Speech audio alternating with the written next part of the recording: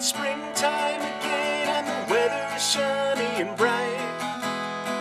Every day in the month of May makes me feel alright. I got the lawn to mow and there's no more snow anywhere to be found. But what I really love are these thousands of dawn black flies all around. Well, the biting swarm causes welts to form on every patch of skin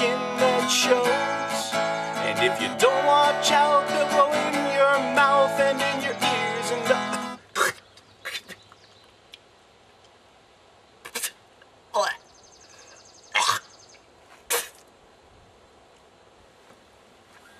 Ugh.